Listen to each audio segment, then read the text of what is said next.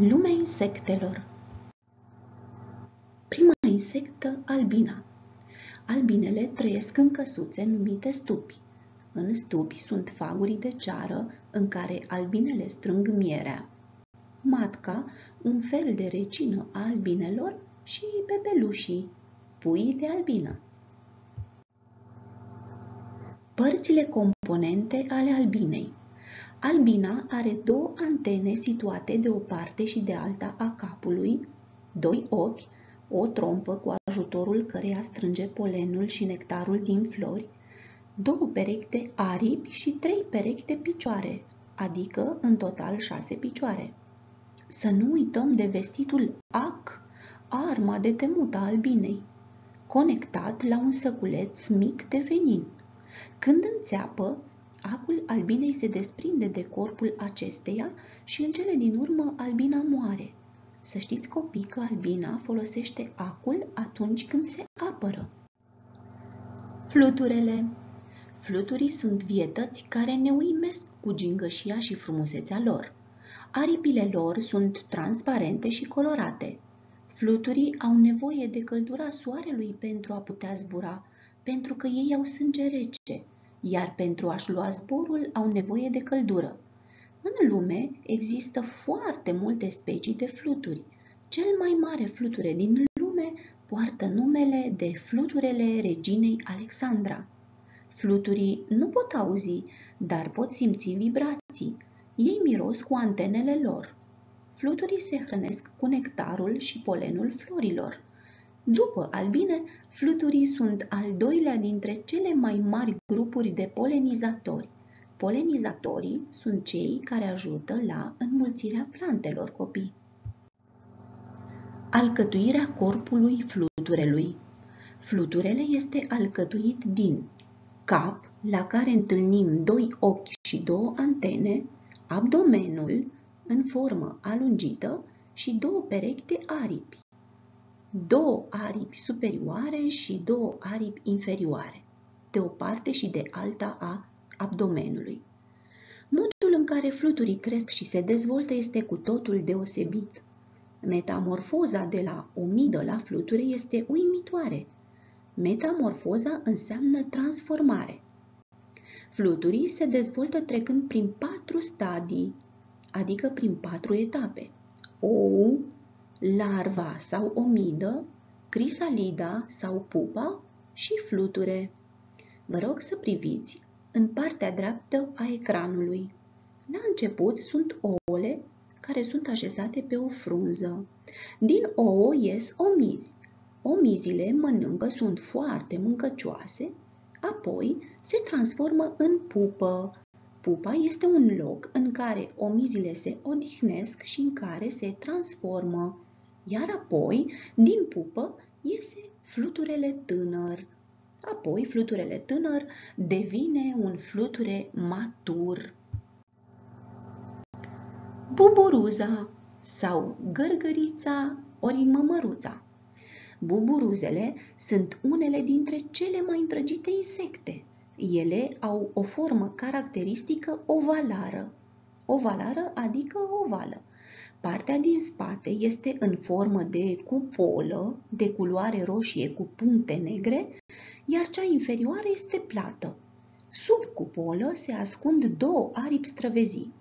Buburuzele se deplasează cu ajutorul unor picioare scurte, trei perechi, ca la toate insectele, adică șase picioare, care ies mult în lateral față de corp, dar și cu ajutorul aripilor. Antenele lor sunt scurte, capul gărgăriței este aproape ascuns. Buburuzele sunt supuse metamorfozei complete în patru etape, ou, larvă, pupă și adult, exact ca la fluture. Buburuzele elimină substanțe toxice atunci când sunt amenințate. Astfel, atunci când simte un pericol, buburuza secretă un lichid gălbui, urât mirositor și îngrozitor de rău la gust, care este împrăștiat la exterior prin articulațiile de la genunchi și care îi ține pe atacator la distanță. Buburuzele se hrănesc vânând alte insecte mult mai mici decât ele. Buburuzele hibernează.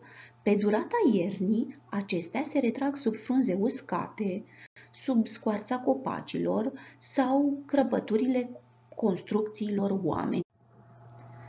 Alcătuirea corpului buburuzei Buburuza este alcătuită din cap, la care se întâlnesc două antene, doi ochi și gură, urmează abdomenul, care deasupra are cupola cu aripile roșii și puncte negre, iar de desubt aripile străvezii, cu ajutorul cărora zboară.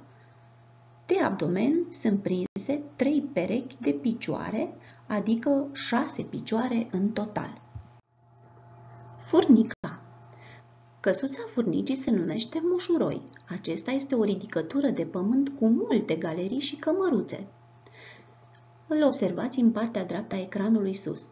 Corpul furnicii este alcătuit din trei părți, abdomen, torace și cap.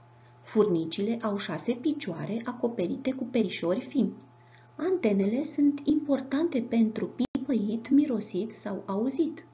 Ele mai sunt folositoare furnicilor pentru a comunica prin atingere cu celelalte surate.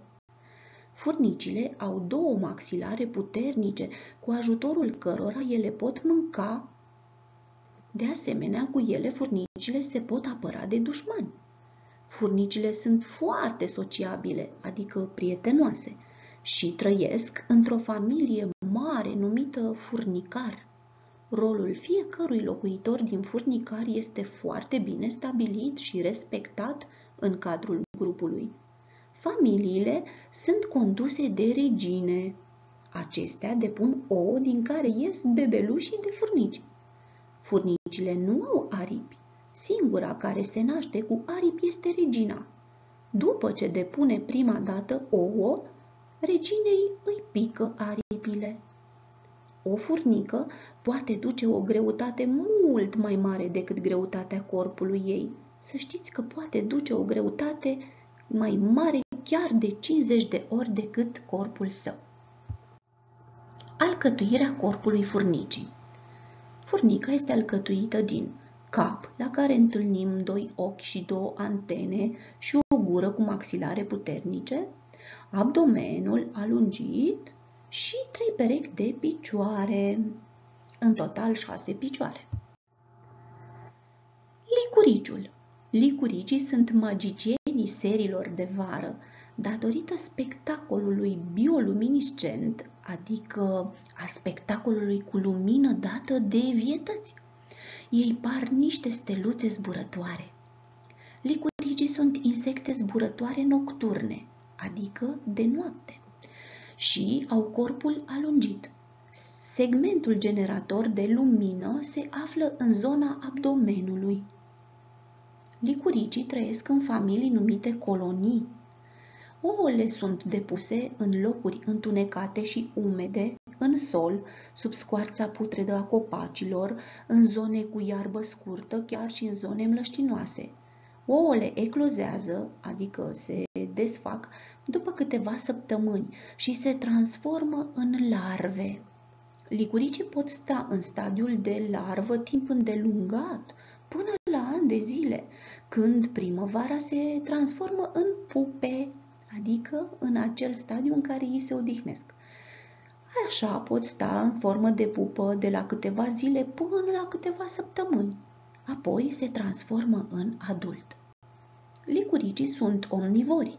Majoritatea adulților nu se hrănesc deloc. În schimb, larvele care trăiesc în sol se hrănesc cu melci, viermi, omide, acarieni sau particule de polen. Mecanismul de producere a luminii numit bioluminiscență este cu adevărat magic. Secretul se află în burtica licuriciului. Lumina produsă în interiorul lor este o lumină rece, adică o lumină care nu dă căldură. Și aceasta poate străluci în tonuri diferite, precum galben, verde, portocaliu sau roșu.